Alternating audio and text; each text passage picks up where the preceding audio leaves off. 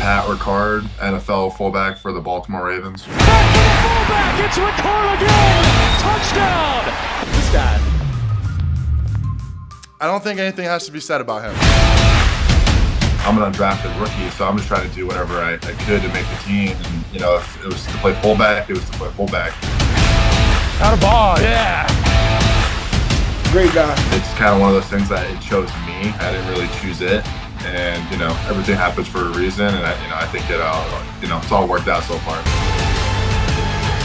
I think, you know, at the end of the day, just know your value, know your morals, and, you know, you never know what will happen.